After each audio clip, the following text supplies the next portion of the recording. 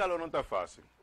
Entonces nosotros eh, decidí traer algo suave para que lo pueda compartir en la casa y también que sirve para dieta, para personas que va a la playa, que quiere rebajar y le trae haciendo la quinoa para que lo pueda consumir en casa. Ya tengo la cebolla picada, el tomate picado, el pepino que nos va a ayudar mucho porque hacer tener líquido nos va a ayudar mucho, el aceite de oliva, la sal y la pimienta junto con el, el con el limón y la quinoa. La quinoa, hoy repito, eh, la produce tanto Bolivia como Perú, son importadores de la quinoa. La quinoa es el primo, como yo digo, el primo del trigo. Eso como, porque se parecen tanto. La única diferencia es el, tiempo de cocción, el tamaño y que la quinoa, cuando está bien cocido, comienza a estar como un arito blanco. Hay dos tipos de quinoa, tanto blanco como negro. El que estamos utilizando es el negro.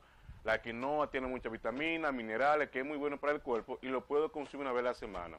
Lo puedo comer tanto a la hora de las 12 como en la noche o como merienda. La quinoa eh, no solamente prepara como ensalada, también lo puede, preparar con arroz. Hace un pequeño un poco de arroz, lo liga, lo saltea y lo puedo consumir tanto con el arroz como la quinoa. La quinoa se está implementando ahora en el país, tiene varios años, y muchas personas están conociendo la quinoa su contenido, de dónde viene, que ya lo se lo dije, el potencial de su, vitamina y sus minerales. Ya eh, la combinación perfecta entre la cebolla, el pepino, el tomate y todo hace que nuestra quinoa absorbe todo su sabor y tenga mayor sabor en, a hora de comer.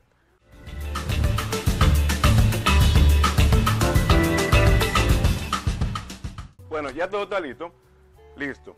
Pepino, tomate, cebolla, regado, todo picadito.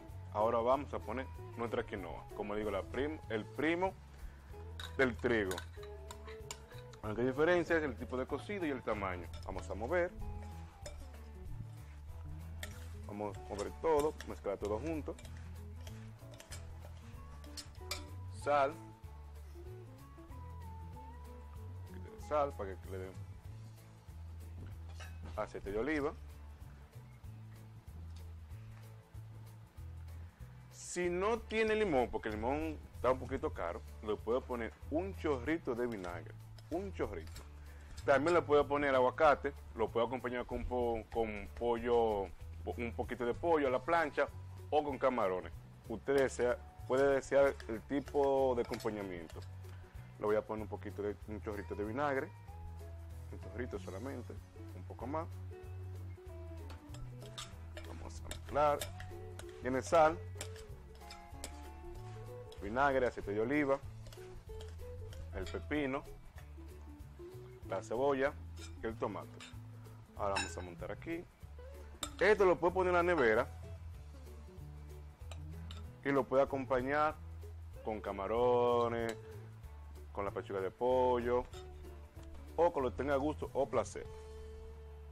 O sea, también se lo puedo comer solo. Ahí está. Nuestra ensalada de quinoa para el tiempo de calor. Como yo digo, el primo del trigo. Ese es el plato de hoy. Algo refrescante, algo suave para la calor que es este fin de semana. Para las personas que están a dieta, que quieren comer sano, lo pueden consumir tanto a la hora de las 12 como a la hora de la cena. O si tiene un antojo, puede, puede consumir esto. Esto es todo por hoy.